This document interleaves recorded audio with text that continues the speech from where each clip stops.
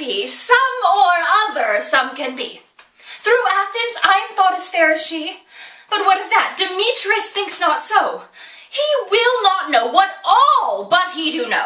And as he errs, doting on Hermia's eyes, well, so I admiring of his qualities.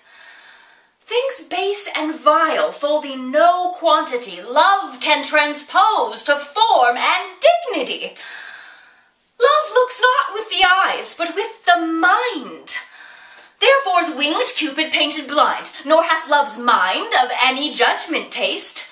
Wings and no eyes, figure unheedy haste. Therefore is love said to be a child, for before in choice he's so oft beguiled.